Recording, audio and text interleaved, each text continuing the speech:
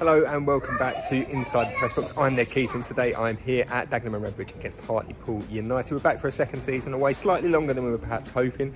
We're back revamped with a few new ideas for the new campaign and we hope you really, really enjoy them. So for me, it's quite special being back at Dagenham and Redbridge. This is where it kind of all started for me in terms of being a journalist. I was covering the club from, I think, March 2015 through to the summer of 2019. Always coming back to Victoria Road, always special. It was a great job to have. Local boy covering the local club for the local paper.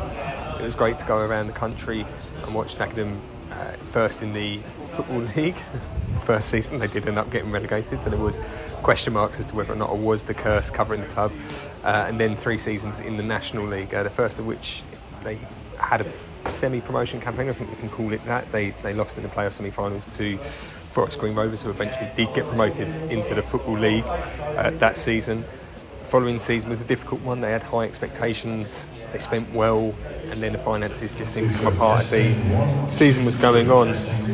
And then the third and final one, with very little funds to start with, it was a bit more of a difficult campaign for the team. They did well. They stayed up. There was no real relegation worries, I think especially towards the end of the season, so that the, the, fans can kind of really sit back and enjoy the last few weeks of the campaign, having worried at times. Uh, and then it was time for me to move on, and, and, someone else has been covering the club since. In terms of special matches here, I suppose there's one that perhaps sticks out, and it's for all the wrong reasons. It was one of my early games covering Dagenham it was the autumn of 2015, I think it was. I can't remember whether or not it was October or November, but the nights were drawing in and it was already pretty dark as the, as the game was drawing towards its close. But Dagenham hadn't won at home by this point. They were still looking for their first home win of the season. That, in fact, actually didn't come until March 2016 in the end. But yeah, this was autumn 2015. They were at home to Oxford United. They were 1 0 up going into the final minute of stoppage time, I think it was. So there I am, head buried into my laptop putting the finishing touches to the story and, and the match report that I was writing at the time.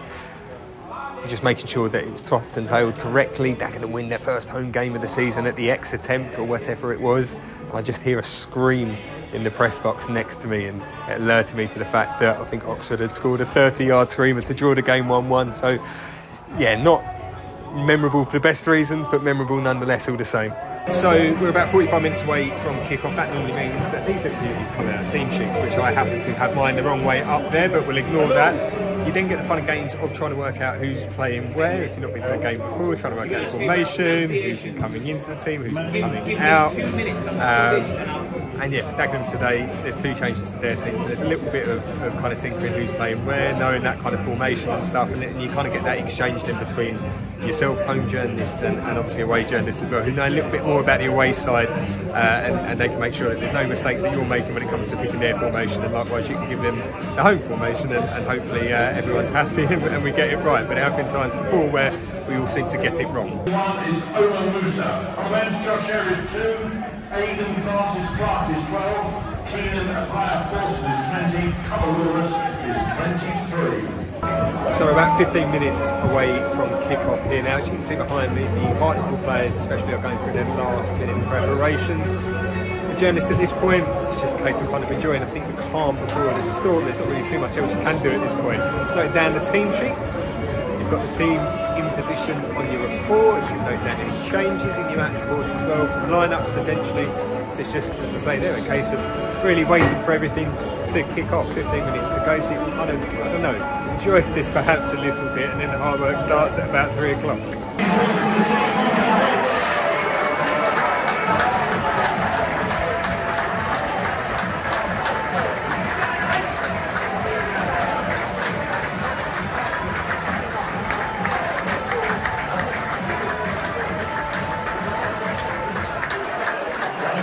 Fairly quiet start here. Both teams 12 minutes into it, really getting much in the way of goal action, which means that it's been quite an easy start to the working day for me. Not really had to add too much to the match report just yet. Uh, aside from what we've already got noted down in terms of team news, hopefully it picks up as the, uh, as the game goes on to give us something to write about. finally had a goal now to right about 28 minutes gone. Uh, players are celebrating away to the right, I from the press box. You might be able to hear the Hartlepool commentator getting excited. Uh, just to left me as well, obviously, you know, conveying to their fans that aren't here today the excitement in his voice there. The goal, uh, it was Oliver Finney uh, who took the shot. Uh, I think it was maybe diverted in on the line by Jake Hessenthaler. Uh, for the hosts, it's not ideal. Um, but again, for us, it means that we've got even more to write about in the uh, in the match floor. Half-time whistle's just gone. What it means for journalists is to get 15 minutes respite, check over reports and everything like that to make sure that we've not made any mistakes in the first half. Obviously I'm perfect, so I never do. The good thing about being at a club like Dagenham as well, they do half-time refreshments. Not often you get that at this level as well. Obviously the higher up you go, you do get a bit more in League ground for sure. But I'm about to go and stuff my face, get maybe a couple of tea, and then come back, hopefully refreshed and uh, excited, energised, ready to go for the second half.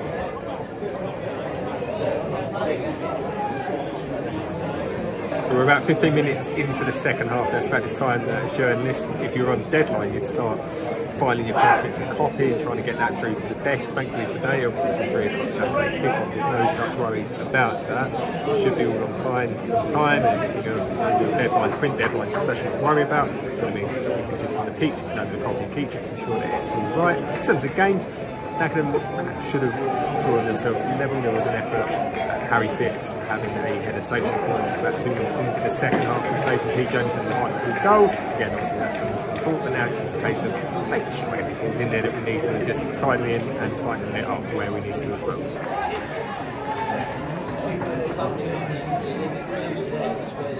The game's just finished here. It's a case now of filing reports, getting them through where they need to go.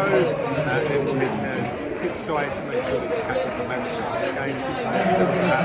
Get their thoughts on the match. In here. Um, one Dagenham, Neil the host and aim to get people from it in the really. At this point, they, they're really going up the first half. I should really go. But Harlequin didn't really have to work hard for their victory. They had to put their bodies on the line at the end a little bit more than perhaps they wanted to. Dagenham did that plenty of pressure there, as the game took towards the final minutes, but ultimately they weren't able to find the goal that they prayed to get back into the game happy. Long trip home and, and three points always makes that, that little bit easier. It's crazy as well, you know, about these uh, 90 minutes comes up, you know, some nearly 100 minutes there. Yeah, was, So game's finished, we've done all the interviews, we're going home now. It's the end of another busy day, reports all filed, everything else filed away. I've just got to watch my steps, I'm coming down a flight of steps here. Maybe I should have chosen a better way to get out of the crowd. But yeah, it's always busy in a press box. It's not as easy and straightforward as perhaps people think. Um, hopefully we've given you a bit of a better insight into it today. Uh, of course, stay tuned to all Mirror Football social channels to see more from inside the press box as the season goes on, and hopefully we'll bring you closer to some of our big name journalists along the way as well.